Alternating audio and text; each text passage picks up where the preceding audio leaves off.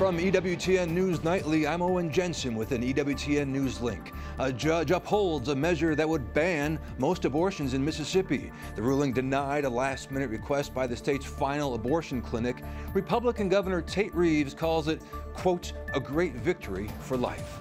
Trinity Grace Church outside Chicago held a prayer vigil last night following the deadly July 4th shooting in north suburban Highland Park. A 21-year-old suspect is accused of killing at least eight people. Earlier today, he made his first appearance in court.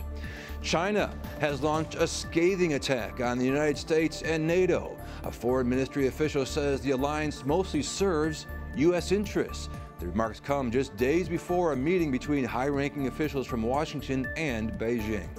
I'm Owen Jensen with EWTN News Nightly. Follow us on Facebook and Twitter and join us this evening. We'll see you then.